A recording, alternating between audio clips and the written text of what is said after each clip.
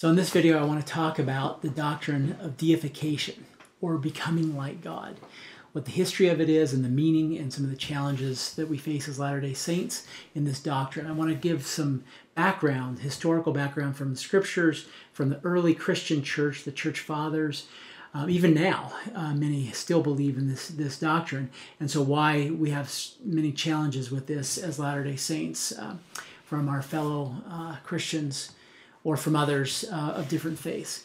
First of all, if you look at um, this page here, the biblical scriptures discussing deification, both the Old and the New Testament, tremendous number of scriptures. And I want to share a couple of my favorites from here. If you look at this next page, Psalms 82 6. I have said you are gods, and all of you are children of the Most High. John 10, 34 through 36. Jesus answered them, Is it not written in your law, I said you are gods? Romans 8, Romans 8, 16 and 17. And if children, then heirs, heirs of God, and joint heirs with Christ. Uh, Galatians 4, 7. And if a son, then an heir of God through Christ. Revelations 3, 21. To him that overcometh will I grant to sit with me in my throne, even as I also overcame and am set down with my Father in his throne. And then Revelations 21 7 He that overcometh shall inherit all things, and I will be his God, and he shall be my son. If we look at some of the early Christian fathers that believed in deification, um, St. Irenaeus in the second century, do we cast blame on him, God, because we were not made gods from the beginning, but were at first created merely as men and then later as gods? St. Clement of Alexandria, second century, yea, I say the word of God became a man so that, that you might learn from a man how to become a god. So Heraclitus was right when he said, men are gods and gods are men. St. Justin Martyr, second century. In the beginning, men were made like God, and that they are thus deemed worthy of becoming gods and of having power to become sons of the highest. St. Athanasius in the fourth century, the Word was made flesh in order that we might be enabled to be made gods. Just as the Lord, putting on the body, became a man, so also we men are both deified through his flesh and henceforth inherit everlasting life. He became man that we might be made divine. And then St. Augustine, considered by many the greatest of the Christian fathers, said, But he himself that justifies also deifies. For by justifying he makes sons of God, for he has given them power to become the sons of God. If then we have been made, made sons of God, we have also been made gods. Now, if you think about it, these are not just Christians. They're not just Orthodox Christians. They're Orthodox Christian saints, canonized saints and three of them uh, lived within 100 years of the apostles, and all five of them believed in deification. This was a part of historical Christianity uh, until relatively recent times, and still is an important doctrine in some of the Eastern Orthodox uh, churches. In fact, here's the Western, Westminster Dictionary of Christian Theology. Deification or Greek theosis, is for orthodoxy the goal of every Christian. Man, according to the Bible, is made in the image and likeness of God. It is possible for man to become like God, to become deified, to become God by grace. This doctrine is based on many passages in both the Old Testament and the New Testament. Then, even among some conservative Protestants, the doctrine of deification is still occasionally found. Here's a, a couple of examples. Paul Crouch of the Trinity Broadcasting Network, quote, I am a little God. I have his name. I am one with him. I'm in a covenant relation. I am a little God. Critics be gone. Kenneth Copeland of the Kenneth Copeland Ministries, you don't have a God in you, you are one. And then the famous C.S. Lewis, the famous Christian writer who died in 1963, he was a member of the Church of England. Uh, some famous quotes from him It is a serious thing to live in a society of possible gods and goddesses, to remember that the dullest and most uninteresting person you can talk to may one day be a creature which, if you saw it now, you would be strongly tempted to worship.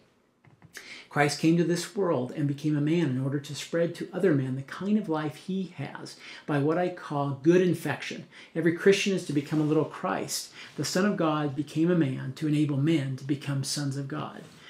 And lastly, he said in the Bible that we were God's, and he is going to make good his words if we let him. For we can prevent him if we choose. He will make the feeblest and filthy of us into a god or goddess, dazzling, radiant, immortal creature, pulsating all through with such energy and joy and wisdom and love as we cannot now imagine.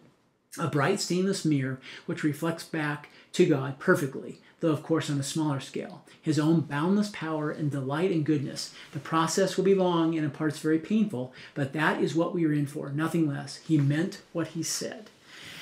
Now, in the book by Stephen Robinson, Are Mormons Christians, he has a chapter on this topic. And he says actually, the real objection in modern Christian churches to the doctrine of deification is often that it implies the existence of more than one God. If human beings can become gods and yet remain distinct beings separate from God, it makes for a universe with many gods. Surely C.S. Lewis realized this implication. So did the early Christian saints. Yet, like the Latter day Saints, they did not understand this implication to constitute genuine polytheism. Let me actually share two, two lines from the Gospel Topics essay that was written on becoming like God that you can find on LDS.org. Says Latter day Saints believe that God's children will always worship Him. Our progression will never change His identity as our Father and our God. And back to the book uh, by Stephen Robinson, he says, um, so let's be clear on what Latter day Saints do not believe. They do not believe that humans will ever be equal to or independent of God. His status in relation to us is not in any way compromised. He says that even as, uh, as we would sit on thrones exercising the power of gods, those who have become gods by grace remain eternally subordinate to the source of that grace. They are extensions of their Father's power and agents of His will.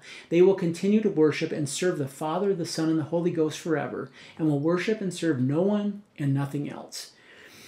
If the Latter day Saints had chosen to refer to such glorified beings as angels instead of gods, it is unlikely anyone outside the LDS Church would have objected to the doctrine per se. It seems that it is only the term that is objectionable, and yet the scriptures themselves often use the word God in this limited sense. Now, there is a great podcast on this topic that I'll link in the in the uh, program resources. Um, the, in the LDS Perspectives podcast, episode 63, an interview with Terryl Givens on becoming like God.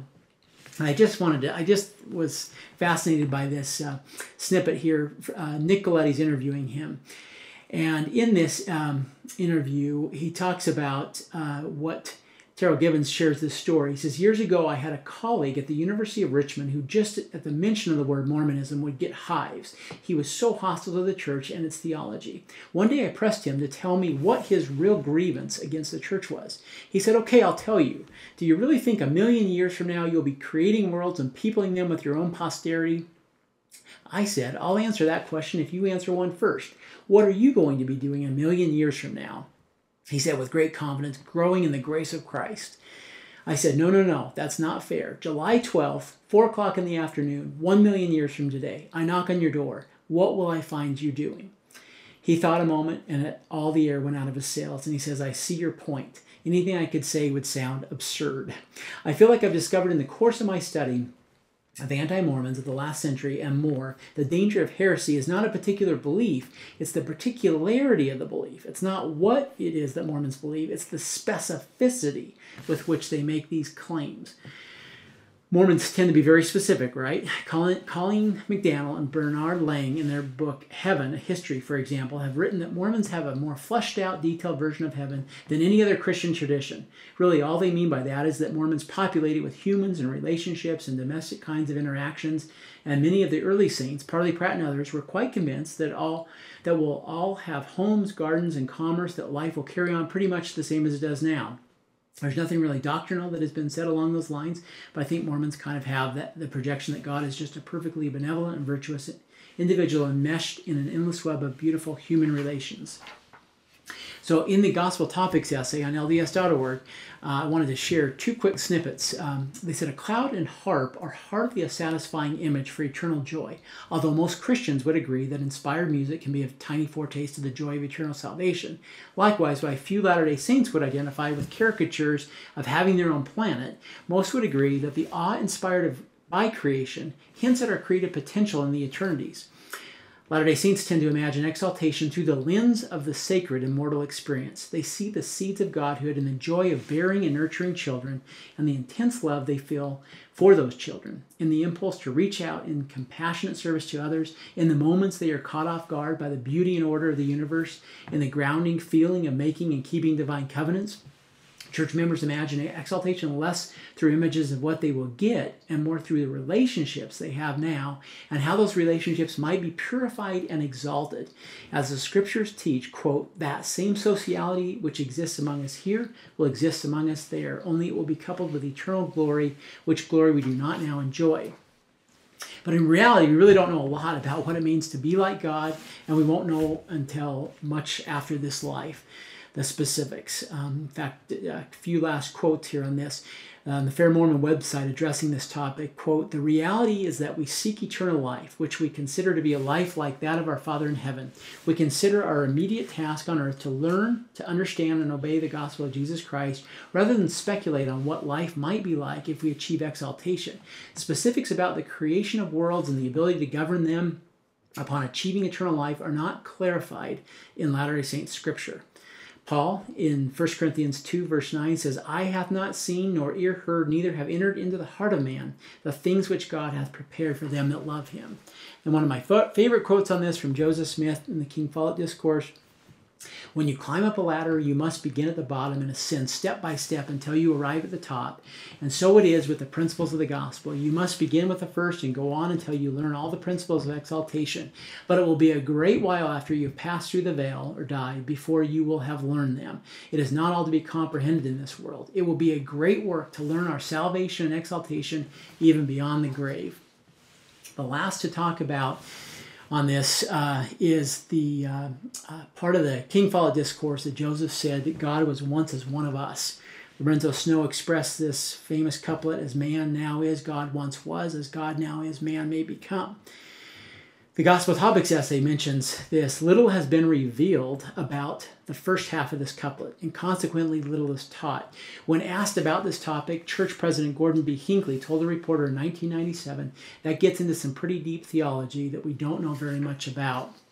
And to conclude on this, I wanted to share one last piece from the interview with Terryl Givens on that LDS Perspectives podcast when talking about the King Follett discourse being official doctrine, he says it depends what you bring to it. It also depends on what you consider to constitute official doctrine, because the King Follett discourse has never been canonized, so there is no canonical expression of that idea. Over the years, one can track the history of the use of the King Follett discourse, and it has fallen in and out of church manuals and has fallen in and out of the official history of the church. There seems to be kind of a recurrent uncertainty as to exactly how tightly we are going to bind ourselves. I think, especially to the first half of that couplet, that God Himself was once human. Most of us forget that the fact that God was once human doesn't mean necessarily that He began as a human and progressed, but that's the usual reading that we give it. But we believe that Christ was divine before He was human. There are other possible ways of, of going with that. Remember, Christ also said that he did nothing but what he saw the Father do, which gives even more possibilities and mysteries to it. So I hope this helps. There's a there's a tremendous amount of speculation that's often done on this topic, and I wanted to share a lot of the background history with it, and that uh, uh, and I hope you found the, the video helpful. Subscribe for more content.